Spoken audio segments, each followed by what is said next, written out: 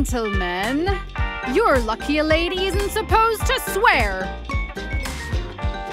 My front door is fully functional and may actually be used. Your, your living room? Oh dear, I'm so sorry. Really, we must apologize. Ah, thanks, guys. Enough whining. Would you give me the honor of letting me know who you all are? Frank. Quentin, Jerne. I'm called Tesla, and you, my dears, owe me an explanation for all of that. Who wants some tea? Well then, tell me. It all began with me wanting to find a material that, looked through, would make food look inedible to the eater. For diet purposes, so to speak. pardon? How is that supposed to be useful?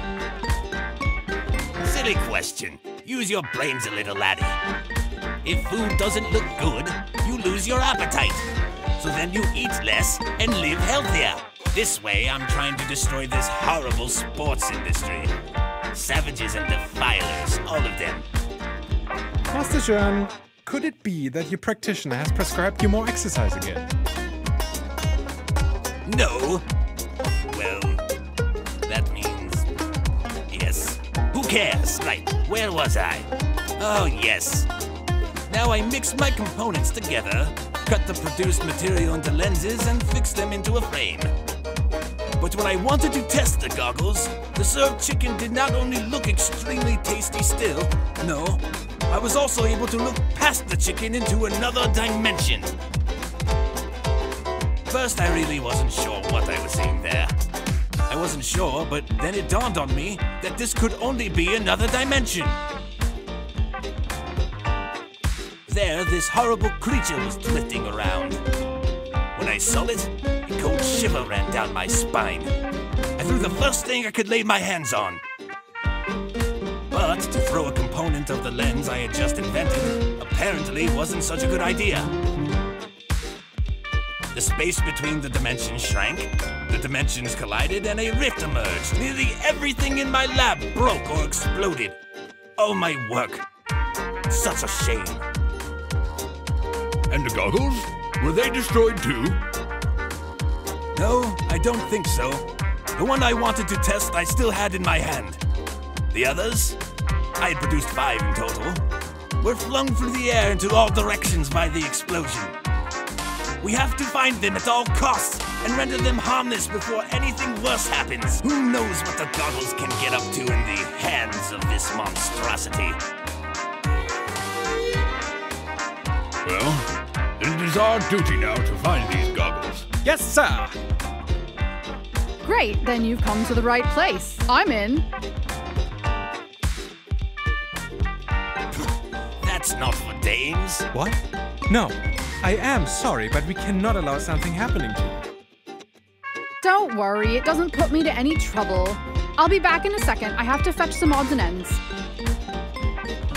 Somehow we've just been outvoted by a single person. Is that possible at all? In this case, it seems like we don't have a choice. You have to bow to higher powers. As long as she doesn't unnecessarily slow us down with some girly stuff. All right, guys, I'm ready. All set? Gentlemen? Our escape route. Women. Since when have they changed like that? Now take it easy, Master. You will get used to it soon. Oh, she is really good, isn't she? Yes, we should keep an eye on this lady.